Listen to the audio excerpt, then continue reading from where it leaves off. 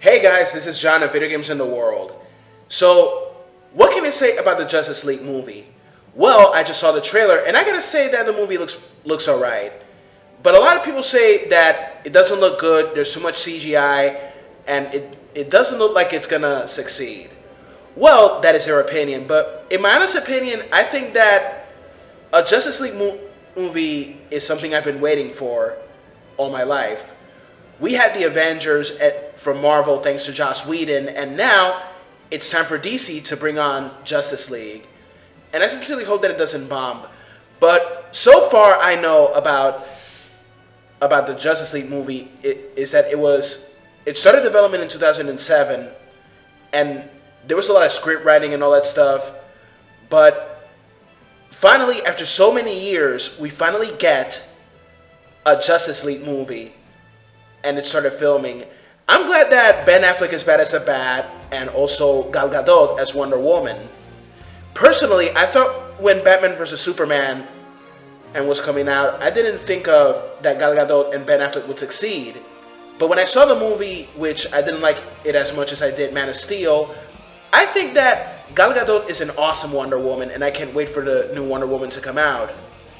Ben Affleck was an, a pretty awesome Batman. So the movie takes place after Batman vs. Superman, and our heroes, Batman and Wonder Woman, assemble a team of supers, the Flash, Aquaman, and Cyborg, to face the catastrophic threat of Steppenwolf and the Parademons who are on the hunt for the Mother Boxes on Earth.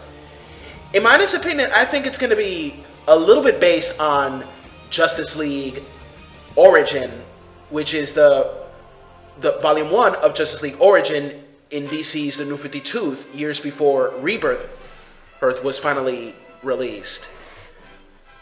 And I think that fight scenes look good and the scenarios look pretty good and I really enjoyed some of the lines and I laughed a little bit, yeah.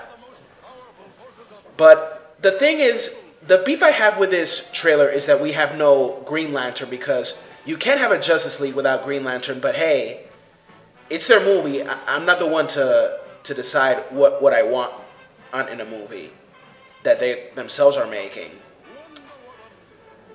Okay, so I know that some of the actors are coming back, the ones you've seen in Batman vs Superman and in Man of Steel, and I sincerely hope that this kicks ass, ladies and gentlemen. So, if you got something to say about the Justice League movie, you can just Comment, rate, and subscribe. This is John, host of Video Games and the World. Have a good one. Bye bye.